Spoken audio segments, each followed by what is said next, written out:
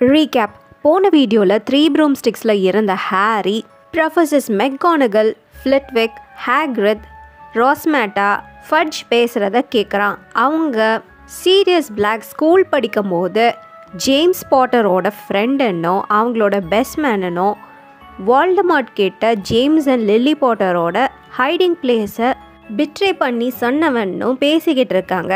அதை ஹாரி கேட்டுடுறான்.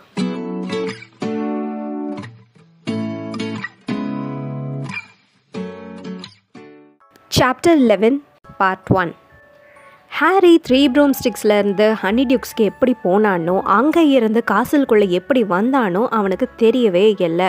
அவனுக்கு தெரிஞ்சதெல்லாம் ரிட்டன் ட்ரிப் போகிற அளவுக்கு அவ்வளோ டைம் ஆன மாதிரி தெரியல. ஏன்னா அவன் எங்கே போகிறானே அவனுக்கு தெரியவே இல்லை. அவன் கேட்ட கான்வர்சேஷன் அவன் தலைக்குள்ளே ஓடிக்கிட்டே இருந்தது. ஏன் இது வரைக்கும் யாருமே அவன்கிட்ட இதை பற்றி சொல்லவே இல்லை? டம்பிள்டோரோ ஹேக்ரதோ மிஸ்டர் வீஸ்லியோ இல்லை கொர்னலியஸ் ஃபெட்ஜியோ ஏன் யாருமே இதுக்கு முன்னாடி ஹாரி கிட்ட இந்த ஒரு ஃபேக்டை சொல்லவே இல்லை? ஹாரியோட அப்பா அம்மா அவங்களோட பெஸ்ட் ஃப்ரெண்ட் அவங்கள பிட்ரே பண்ணதுனால தான் இறந்தாங்கன்னு. டின்னர் அப்போது ரானோ ஹெர்மைனி ஹாரியை நர்வஸாக பார்த்துட்டே இருந்தாங்களே தவிர அவங்க அவங்க ஹாக்ஸ்மீட்டில் கேட்டதை பற்றி டிஸ்கஸ் பண்ணவே இல்லை. ஏன்னா பர்சி அவங்களுக்கு பக்கத்தில் உட்காந்துருந்தான் அவங்க மேலே காமன் ரூம்க்கு போனபோது ஃப்ரெட் அண்ட் ஜார்ஜ் ஒரு டசன் டங் பாம்ஸை அங்கே காமன் ரூமில் போட்டிருந்தாங்க. ஹாரி ஃப்ரெட் அண்ட் ஜார்ஜ் கிட்ட பேசுகிறதுக்கு விருப்பம் இல்லாதனால அவன் மெதுவாக அவனோட டார்மெட்டரிக்கு போயிடுறான். அவன் அங்கே அவனோட பெட் சைடுக்கு பக்கத்தில் இருந்த கேபினெட்ல இருந்து வேகமாக எல்லா புக்ஸையும் தள்ளி வச்சுட்டு ஹேக்ரத் அவனுக்கு ரெண்டு வருஷத்துக்கு முன்னாடி கொடுத்த ஒரு லெதர் பவுண்ட் ஃபோட்டோ ஆல்பத்தை தேடுறான். அவன் பெட்டில் உட்காந்து அவன் பெட்டில் இருந்த ஹேங்கிங்ஸை க்ளோஸ் பண்ணிட்டு அந்த ஃபோட்டோ ஆல்பமை உள்ளே பார்க்குறான் அவன் தேடிட்டு இருந்த பேஜ் அவனுக்கு கிடச்சிது. அது அவனோட பேரண்ட்ஸோட வெட்டிங் டே அங்கே அவனோட அப்பா அவனுக்கு கை ஆட்டிகிட்டு இருந்தார் அவரோட முடி ஹாரியோட முடி மாதிரி எல்லா டைரக்ஷன்ஸ்லேயும் நின்றுட்டு இருந்தது பாராட்ட மாதிரி. அவருக்கு பக்கத்தில் அவங்க அம்மா ஆமன் ஆம் ரொம்ப சந்தோஷமாக இருக்காங்க.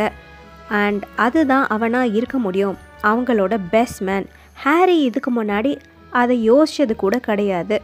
அவன் இதுதான் அதே ஆளுன்னு தெரியலைன்னா அவன் இது பிளாக்குன்னு கெஸ் கூட பண்ணியிருக்க முடியாது. ஏன்னா போஸ்டர்ஸில் இருந்த பிளாக்கோட சன்கன் அண்ட் வேக்ஸியான முகம் இதில் அப்படி இல்லை.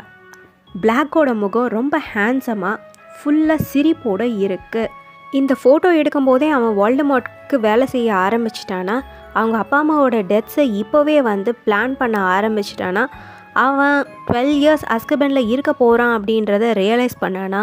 அப்படின்னு எண்ணற்ற கொஷின்ஸ் ஹாரியோட மனசில் ஓடிக்கிட்டே இருக்குது ஆனால் டிமெண்டஸ் அவனை அஃபெக்ட் பண்ணுறது இல்லை அப்படின்னு ஹாரி நினச்சான். டிமெண்டஸ் பக்கத்தில் வந்த ஹாரியோட அம்மா அலற சத்தத்தை அவன் கேட்குறது கிடையாது. ஹாரி கோபத்தில் அந்த ஆல்பத்தை வேகமாக மூடிட்டு அதை அந்த பெட்ஷீட் கேபினெட்குள்ளே திணிச்சிட்டு அவனோட ட்ரெஸ் சேஞ்ச் பண்ணிவிட்டு அவன் திரும்பவும் பெட்டில் வந்து படுத்துக்கிட்டான். அந்த நேரத்தில் டார்மெட்டரியோட கதவு திரும்பவும் திறக்குது. ஹாரி அப்படின்னு ரான் கூப்பிடுறா. ஆனால் ஹாரி அப்படியே படுத்திருக்கான் தூங்குற மாதிரி நடிச்சிட்டு. அவன் ரான் வெளியே போகிறது அவனுக்கு கேட்குது திரும்பவும் திரும்பி படுத்துட்டு முளைச்சி பார்த்துட்டே இருக்கான். இந்த மாதிரி ஒரு ஹேட்டட் அவனுக்கு இதுக்கு முன்னாடி வந்ததே கிடையாது. இந்த மாதிரி ஒன்று ஒரு வெறுப்பு ஹாரிக்குள்ளே ஒரு பாய்சன் மாதிரி போய்கிட்டு இருக்கு. அவனால் பிளாக் சிரிக்கிறத அவனால் பார்த்துக்கிட்டே இருக்க முடியுது.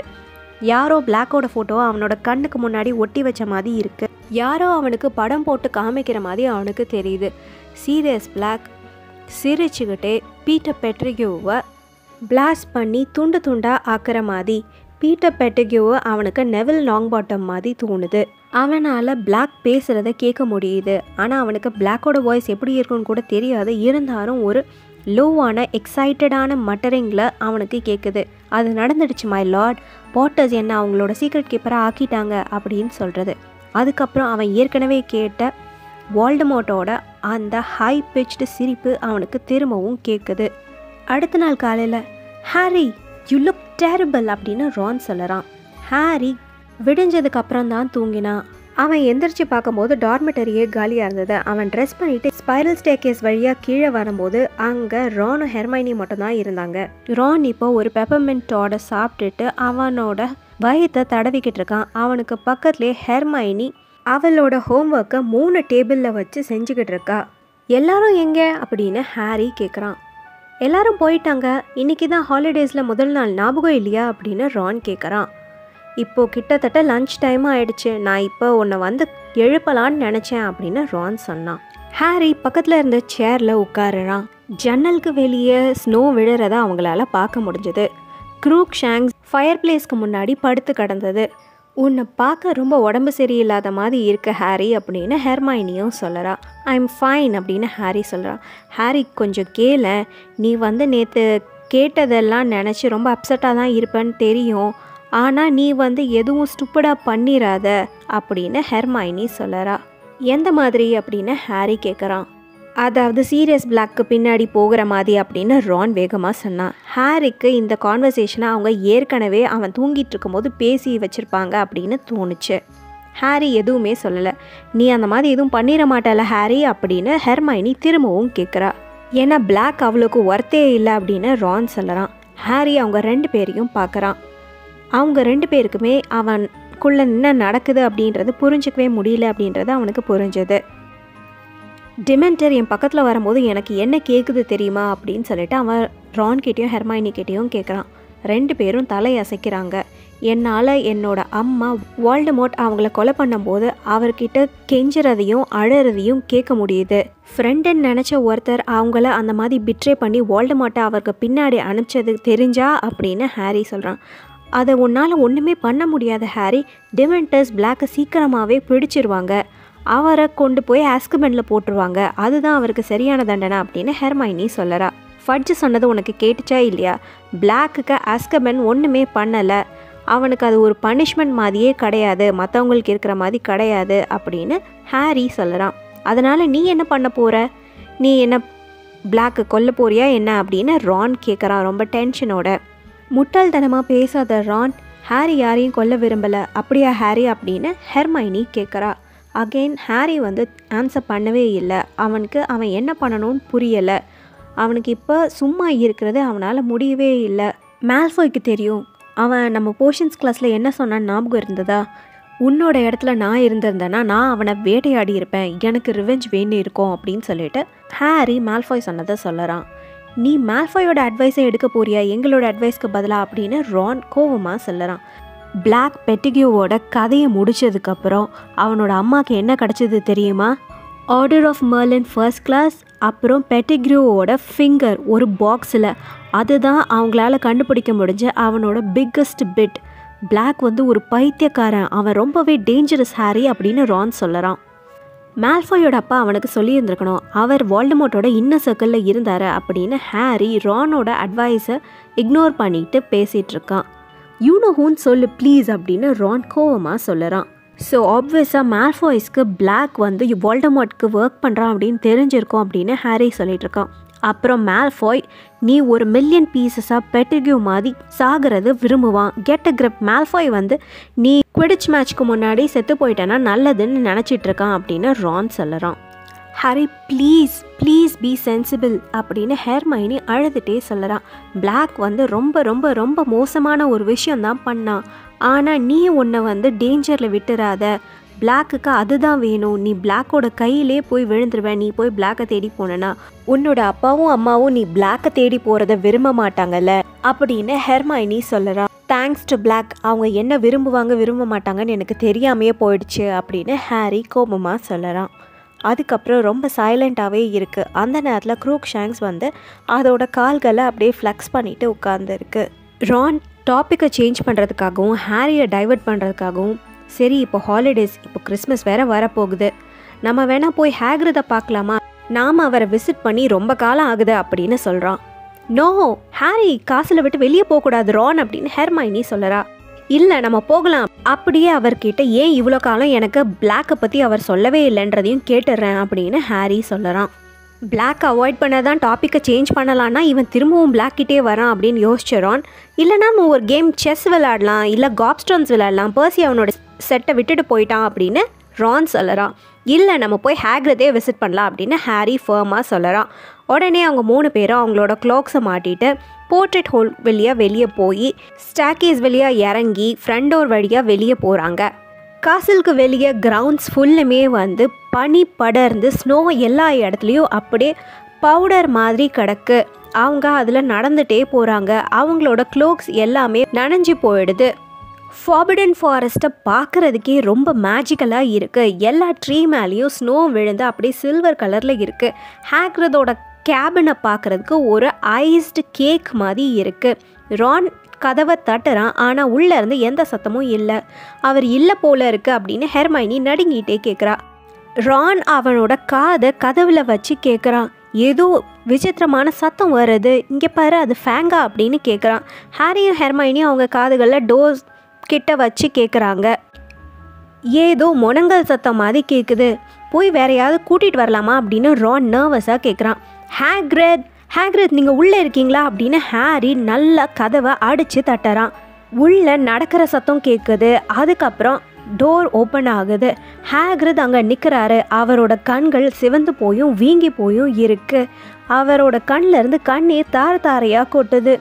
விஷயத்தை கேள்விப்பட்டீங்களா அப்படின்னு சொல்லிட்டு அழுதுட்டே அவர் ஹாரி மேலே வந்து சாயறாரு. ஹேக்ரதோட வெயிட் தாங்காமல் ஹாரி கீழே விழுந்திருப்பான். நல்ல வேலைக்கு ரானோ ஹெர்மைனியும் ஹேக்ரதோட கையை ரெண்டு சைடும் பிடிச்சு அவரை கைத்தாங்களா உள்ளே கூட்டிகிட்டு போய் ஒரு சேரில் உட்கார வைக்கிறாங்க.